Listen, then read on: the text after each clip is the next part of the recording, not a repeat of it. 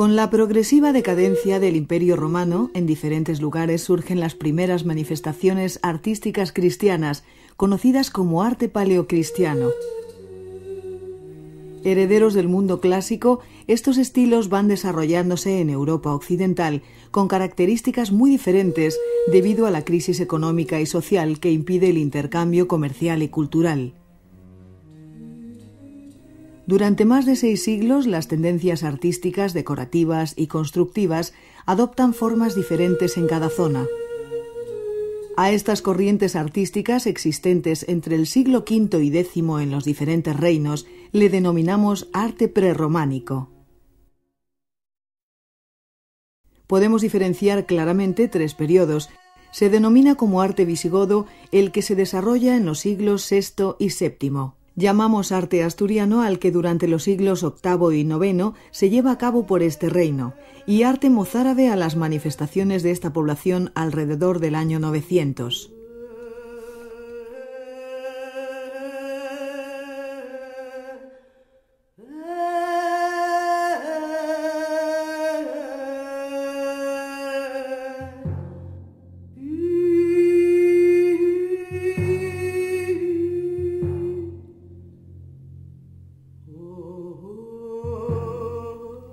Entre los pueblos germánicos que llegan a la península, los visigodos dominan la mayor parte del territorio.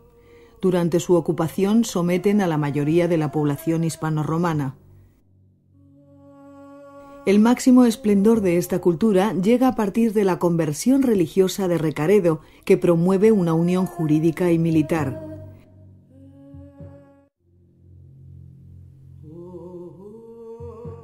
Entre sus manifestaciones artísticas, la que más influencia tiene de sus tradiciones germánicas es la orfebrería. Estas fíbulas y estas coronas votivas muestran gran valor en su realización.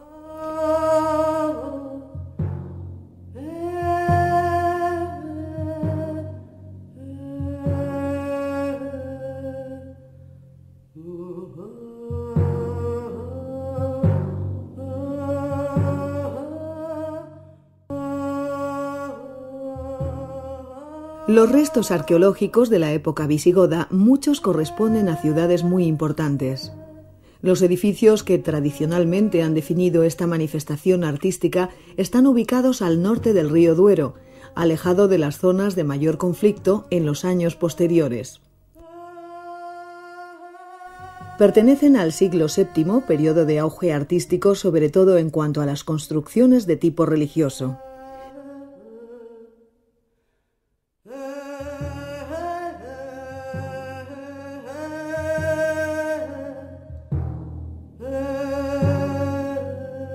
Estas construcciones de pequeño tamaño nos las encontramos alejadas de los grandes núcleos de población.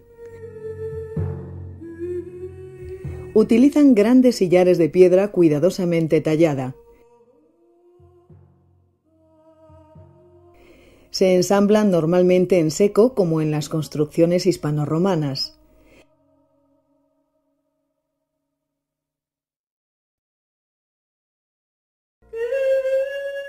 La planta de estos edificios muestra la influencia de la tradicional basílica del mundo romano, sobre la que se inscribe la cruz griega bizantina con los cuatro brazos de igual longitud.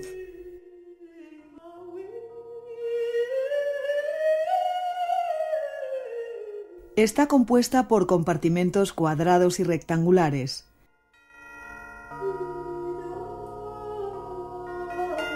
Las naves están sustentadas con bóvedas semicirculares o de cañón. Debido al gran peso de las piedras utilizadas, los muros laterales han de ser muy gruesos. Estas bóvedas están realizadas mediante el uso del ladrillo conforme a la medida romana, de 47 por 39 centímetros. La disposición de los mismos forma una bóveda reforzada en el crucero, precedente de soluciones que años más tarde adoptarán otros estilos artísticos.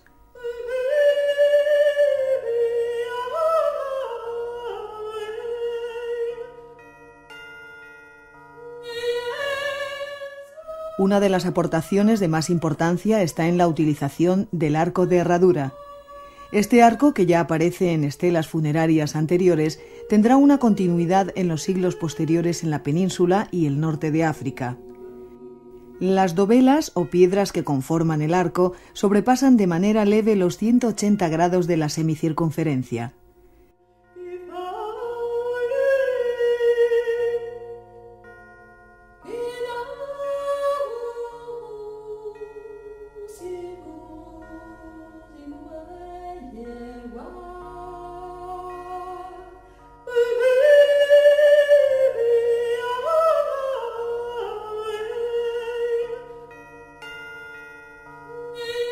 Las columnas suelen estar rematadas con capiteles similares a los de los edificios tardorromanos.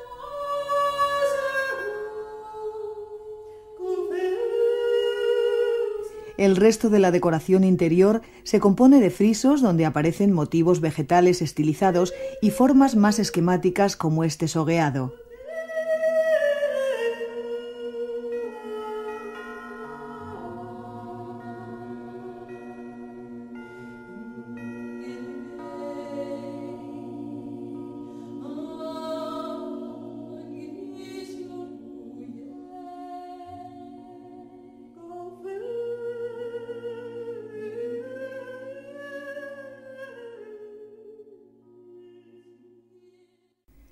Algunas de estas construcciones han sufrido variaciones a través de los años.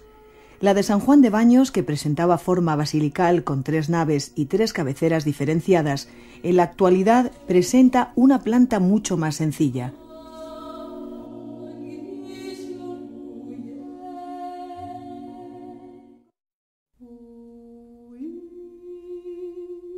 Fundada en 661 por Recesvinto, separa sus naves por arquerías soportadas por columnas que probablemente provienen de edificios romanos anteriores. Los fustes bien labrados sustentan capiteles de estilo corintio.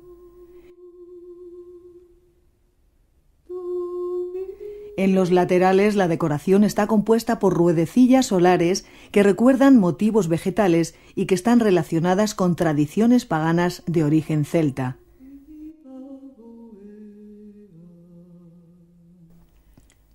La cruz patada decora la clave del arco que separa el ábside del resto del templo.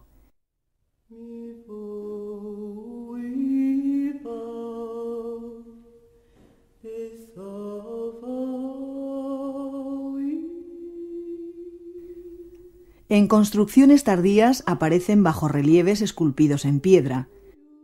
Estos capiteles representan a Cristo bendiciendo.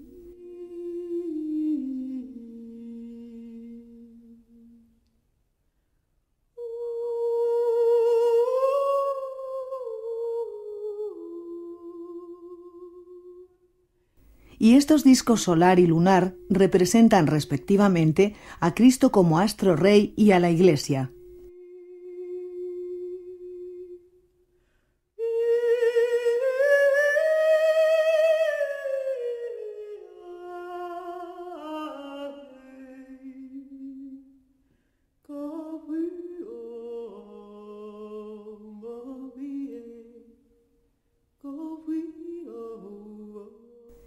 La decoración del arco se representa la temática eucarística mediante racimos de uva, aves y hojas de acanto.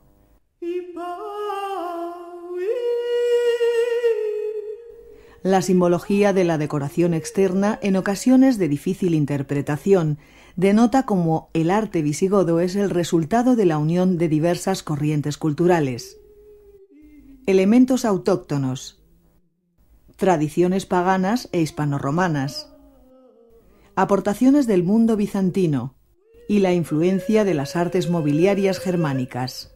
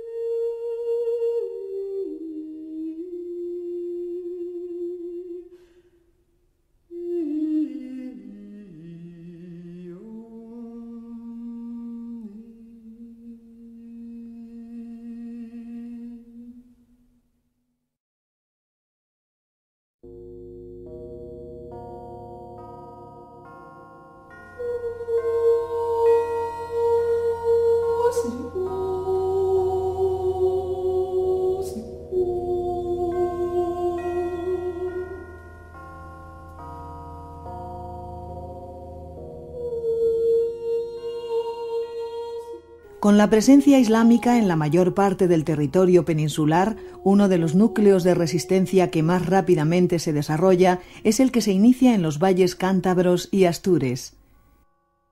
Durante el reinado de Ramiro I se edifican las construcciones más características de este estilo arquitectónico, que se considera finalizado cuando en 910 muere Alfonso III, que trasladó la capital a León y comienza la repoblación de los territorios al norte del río Duero con población mozárabe.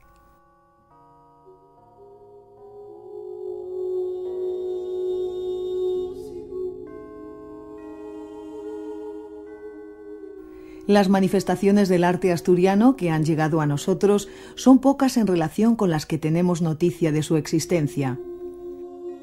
Aunque las primeras se realizan en los valles donde comienza la existencia de este reino, su influencia llega hasta las tierras que llega a ocupar en León, Galicia y norte de Portugal.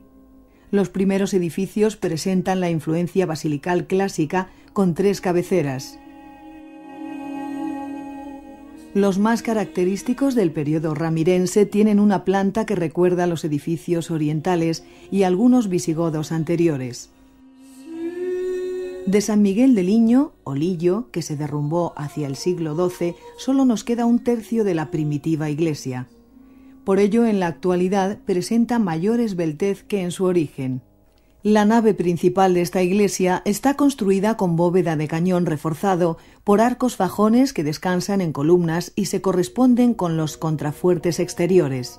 Está construida totalmente en piedra, aunque no con la calidad de talla de épocas anteriores. Esta decoración de estrías verticales es característica del estilo ramirense y se realiza en los contrafuertes.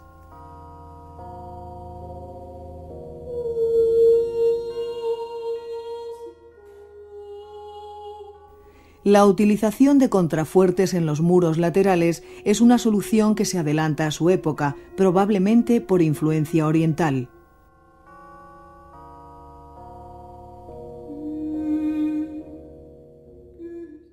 Dan solidez al edificio.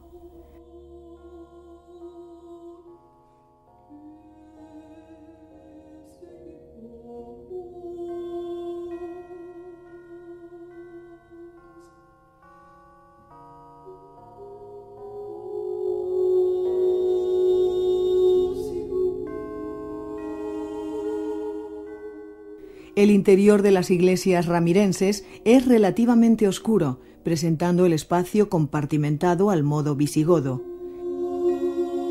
Hacia el fondo de la nave hay un bellísimo iconostasio en piedra que separa el lugar de culto del destinado a los asistentes. Tiene incrustadas piezas decorativas visigodas. Los cuerpos rectangulares conforman el pórtico, la cabecera y dos habitaciones laterales. Se separan por arcos peraltados que apoyan en cuatro columnas.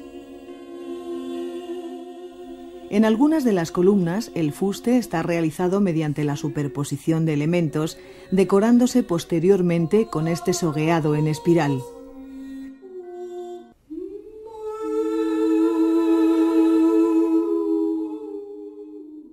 Los capiteles utilizan decoración de influencia oriental.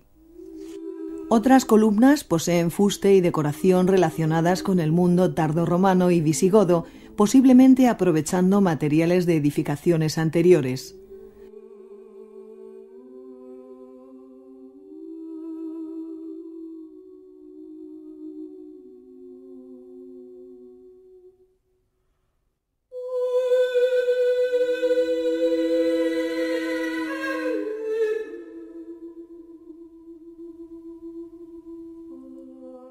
Cerca de la ciudad de Oviedo ha perdurado este pabellón real de recreo que recuerda a los palacios romanos. Edificado a la falda meridional del monte Naranco, tiene fachada con pórtico y dos cuerpos laterales.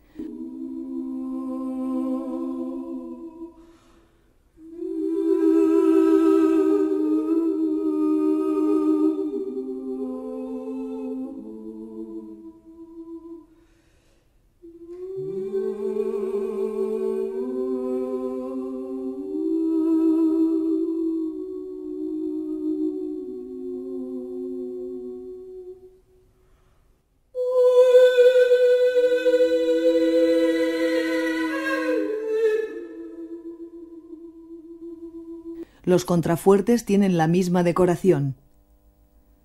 Sus arcos, formados con dovelas de piedra, presentan los característicos arcos de medio punto peraltados o sobreelevados.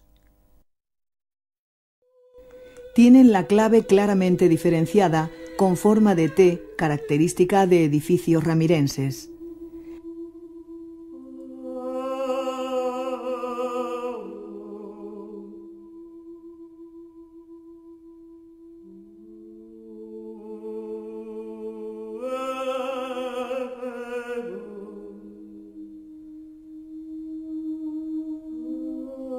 Ambos pisos, el bajo y el principal, están cubiertos por bóvedas de cañón sobre arcos fajones que apoyan en columnas adosadas a los muros laterales. Las columnas están decoradas profusamente. Los capiteles de tradición corintia se combinan con la decoración figurativa y los medallones que adornan todo este edificio palaciego denota la gran habilidad de sus constructores, posiblemente venidos de forma expresa desde tierras orientales.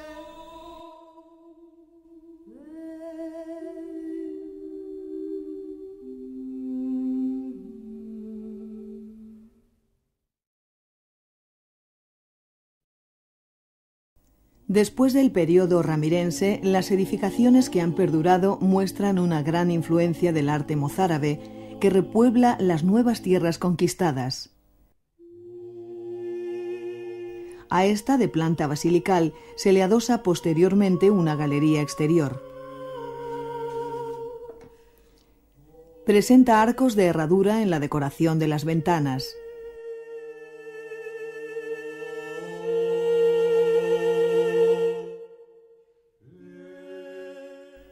Se utilizan celosías para los vanos de las ventanas con técnicas cercanas a los trabajos que se elaboran en Córdoba.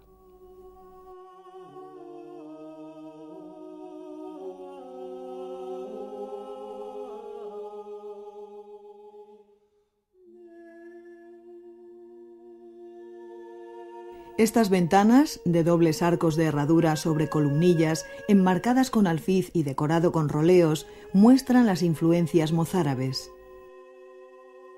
El pórtico adosado está construido en sillares.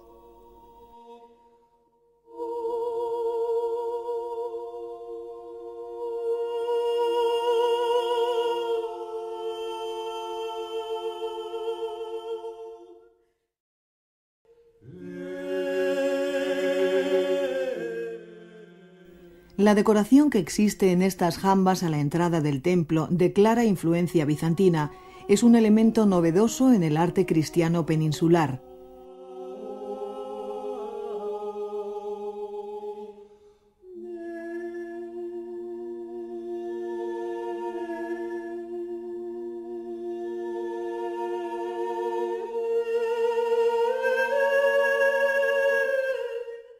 Durante este periodo se decoran los templos con pinturas al fresco de las que hoy han quedado muy pocos ejemplos. En esta muestra se pueden apreciar los motivos religiosos y la influencia del mundo romano.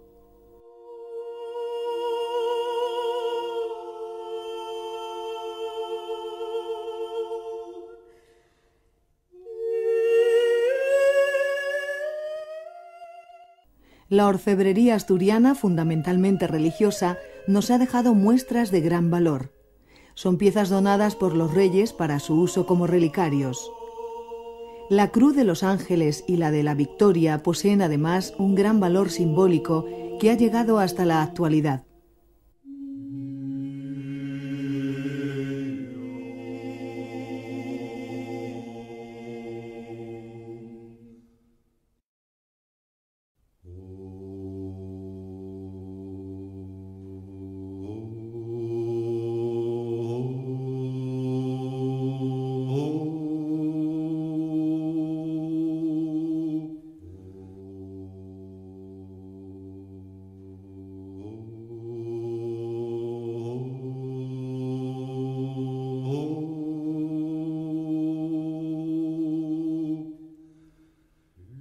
El término mozárabe se utiliza para denominar a los cristianos sometidos en territorio musulmán mediante un pacto especial y que deben pagar un impuesto.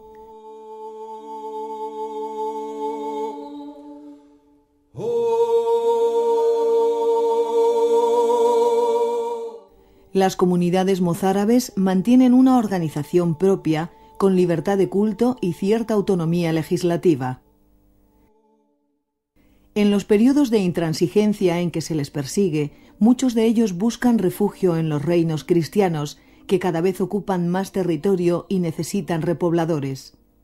Son pocas las construcciones mozárabes en territorio musulmán que han llegado a nosotros.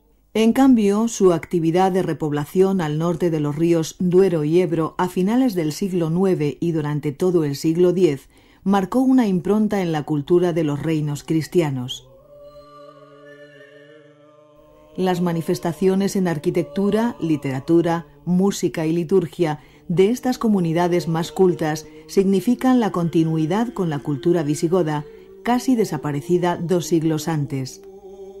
Las construcciones que mejor han llegado hasta nosotros son las iglesias de los monasterios que se fundan por donaciones de los reyes. Estos edificios compartimentan el espacio como en el periodo visigodo, utilizando sobre todo el modelo basilical de una o tres naves. Las cabeceras presentan en el interior forma de herradura, mientras que al exterior lo hacen de forma cuadrada. En ocasiones presentan contraábside, posiblemente para ser utilizado como enterramiento.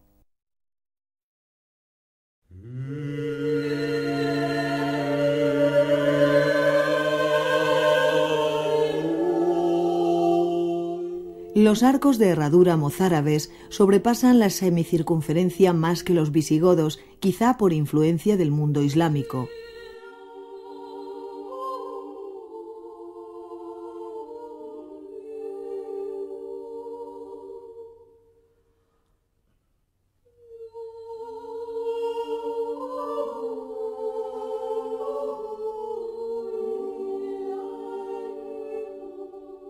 Están soportados por columnas con fuste de mármol o granito y con capiteles corintios. Algunos de ellos se sabe que fueron tallados a bisel por artistas sirios.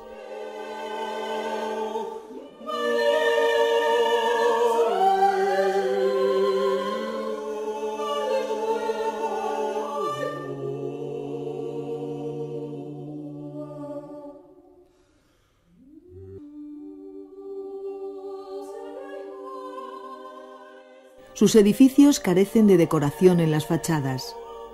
Cuando aparecen torres o campanarios es debido a modificaciones realizadas posteriormente.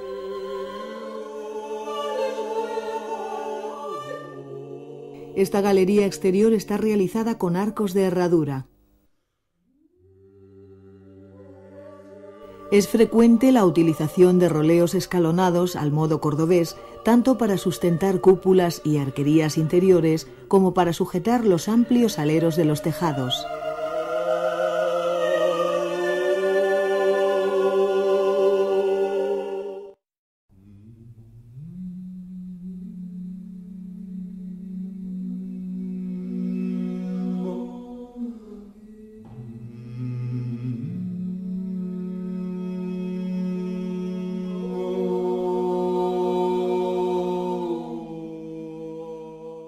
Las bóvedas se finalizan mediante gallones o segmentos cóncavos rematados en redondo por su extremidad más ancha.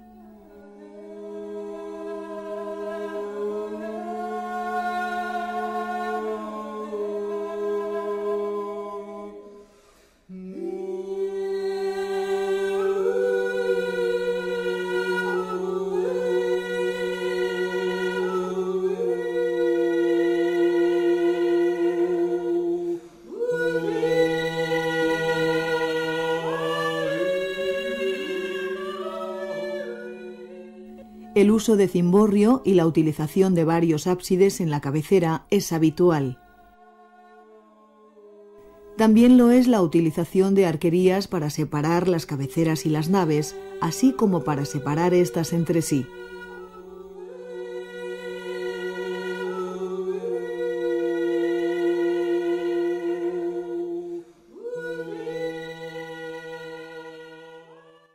En algunos casos se utiliza armadura de madera para el techo y ventanas laterales para la iluminación.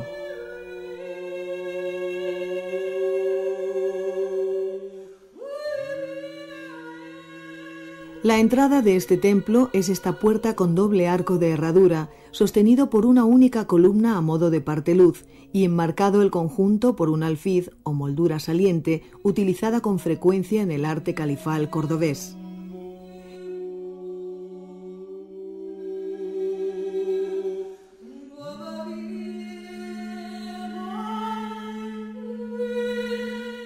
Existen otros tipos de plantas mozárabes. Este pequeño oratorio está compuesto por tres compartimentos. Tiene un cimborrio cuadrado y un ábside circular en el interior y cuadrado al exterior.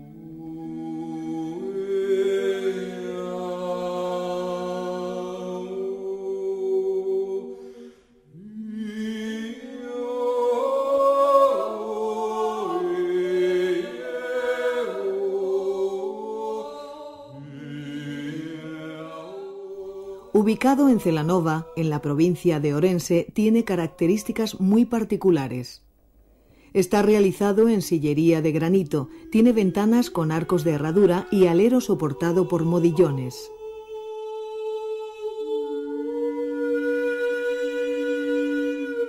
En el interior podemos apreciar roleos y este doble arco enmarcado con alfiz.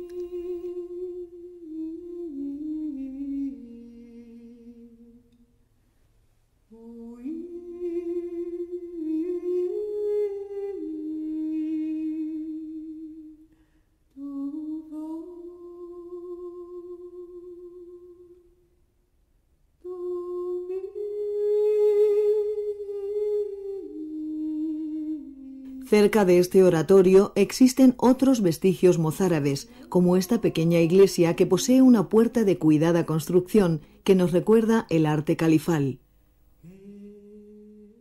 O esta pequeña ermita, realizada con escasos medios, que nos deja la huella mozárabe en las dobles ventanas realizadas en un solo bloque de piedra.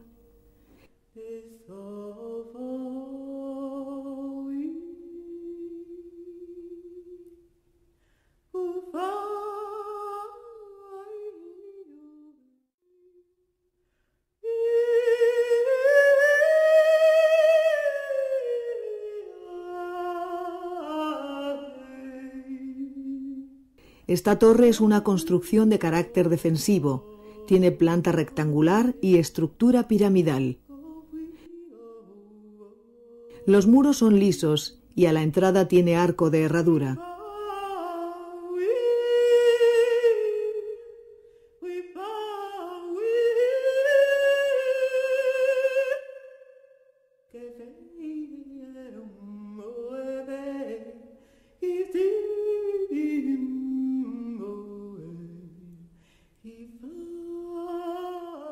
Partir de las ilustraciones realizadas en el comentario al Apocalipsis de Beato de Liébana, en los monasterios se desarrolla todo un arte pictórico que tendrá una gran influencia sobre la pintura románica posterior. También se denomina mozárabe la música elaborada en estos monasterios y que ha llegado a nosotros escrita por los monjes.